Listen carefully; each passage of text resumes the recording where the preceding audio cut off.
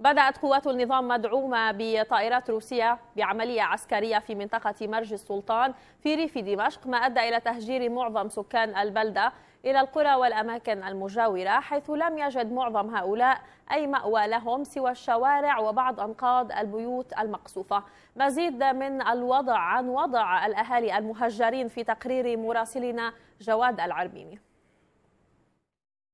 كانت بلدة مرج السلطان ملجأ للنازحين من عنف النظام قبل أن يبدأ النظام عملياته العسكرية المدعومة بطائرة يقول السكان إنها ذات قدرة تدميرية كبرى. هذه المدرسة كانت ملاذا آمنا لخمس عشرة أسرة نازحة أصبحوا بلا مأوى.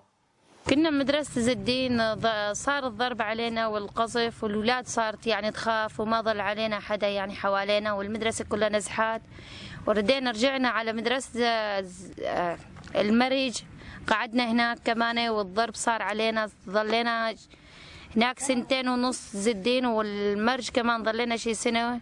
وردينا نزحنا. كانت كمان عندنا 15 عيلة قاعدين هناك كمان. وخلي على الله. وكله طلع وما في شيء ناكل لا نحن ولا هن. والوضع خليه على الله. حال أم عماد وأم غفران تبدو أسوأ بكثير فهما من دون مأوى. تبيتان مع أسرتيهما في الشارع. جابونا المدرسة بالمرج. ظلينا سنة ونص ردينا نزحنا لهون صار الطيران علينا يضرب هناك بالمرج بالمدرسة. ردينا نزحنا لهون وقاعدين شوفة يومكم بالشوارع يعني لا عندنا بيوت لا عندنا غراض لا عندنا شيء. والله ما يجينا طيران نحن ما نطلع بالجو وما بنشوف طيارتين ثلاثة سوا بالجو. كله طيران سوري أجنبي ما بنعرف. وبتضرب علينا الطيارة. ودمرت العالم دمرت الشباب دمرت بيوتنا. أصوات غريبة ضربوا علينا. قنابل عنقودية الراجمة كمان كثير كمان ما تضرب علينا ذبحت العالم ذبي حدمت البيوت.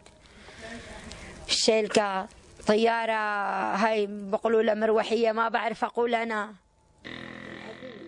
أكثر من 900 أسرة هجرت من بلدة مرج السلطان خلال خمسة أيام بعد حملة القصف العشوائي لطائرات النظام التي تزيد من وطأة النزوح ومأساة الحصار. جواد الأربيني أخبار الآن ريف دمشق.